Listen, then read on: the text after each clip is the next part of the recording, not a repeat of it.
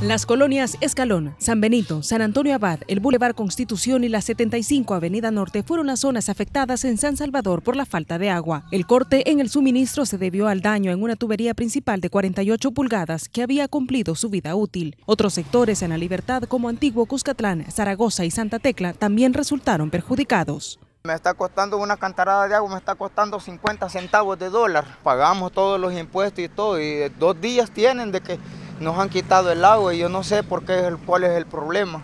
En los establecimientos comerciales donde se venden alimentos, la falta de agua potable ha causado serios inconvenientes. Tenemos dos días de estar sin agua y yo tengo negocio de pupusería, yo necesito mucho el agua. Anoche fui a buscar agua hasta allá mexicanos en, el carro de mi sobrino para sacar venta hoy, pero hoy ¿quién me va a llevar para mañana? Nadie. Como tenía un poquito, ah, con eso lavado el maíz, pero ya para mañana ya no tiene.